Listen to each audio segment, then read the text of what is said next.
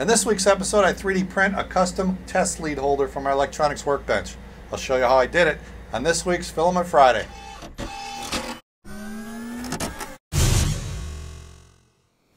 Filament Friday is brought to you every week by the generous donations of my Patreon supporters.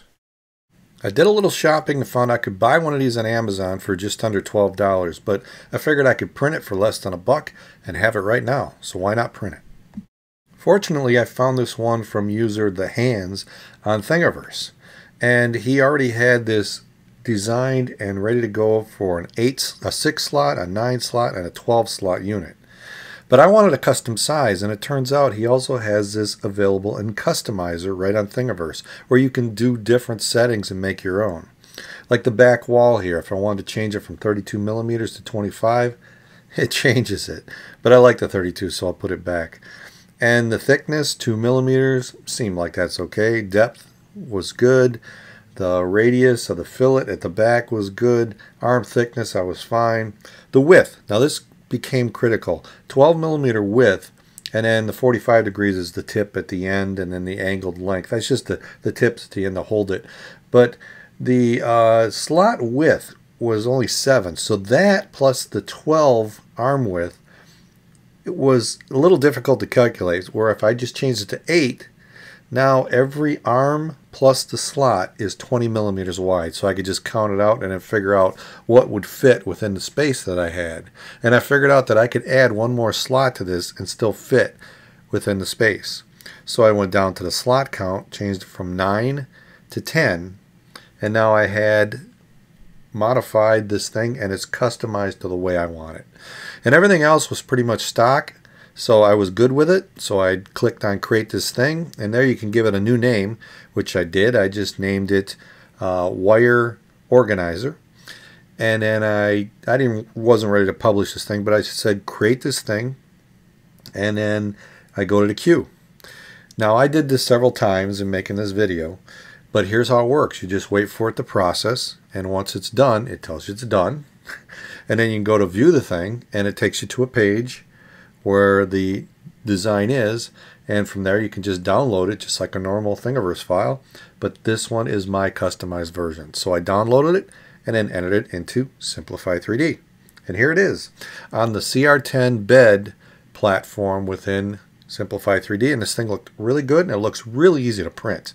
So I went into the edit process my CR10 profile 30% fill is all I'm going to use 0.3 layer height, which prints fine in a CR10, three top and bottom layers, three perimeter shells, 30% infill, no support. Temperature was 40 degrees on the bed, 215 in the PLA uh, filament. Cooling was enabled, and I'm printing as fast at 80 millimeters per second. I click prepare to print. Everything looks good. There's no holes or nothing, so I sent it to the CR10 and here's a time lapse of it printing. It stuck to the bed good. Glue on the glass works great for me. And when it was done, the print looked fantastic and it was clean. There was no stringing. This thing was ready to hang.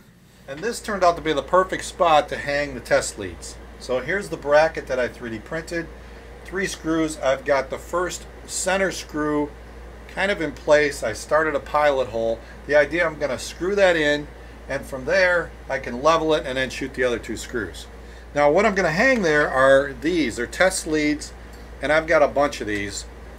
This is a banana jack style and this is great for like plugging into power supplies or plugging into a meter or even plugging into each other and extend out. So these are very very handy. Now these are not cheap. These are Pomona. I've had some of these for over 30 years but they still work because they're so strong. And then I've got another set that have that same banana jack and on the other end have these spring clips. So it's a little spring arm that comes out. That way you can clip it to the electronics.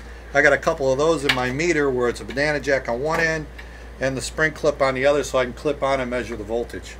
So that's very, very handy. And then some of I got two, two spring clips on both ends.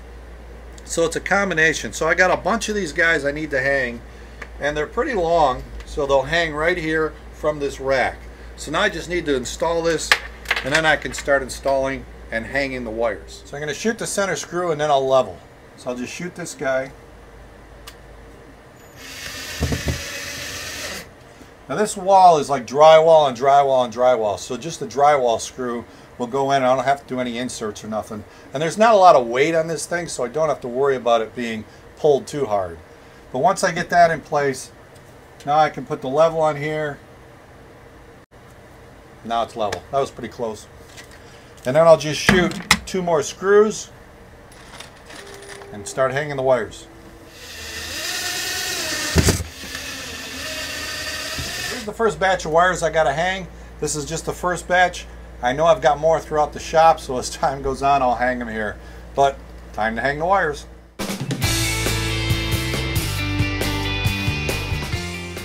So I'm really happy with the way this turned out.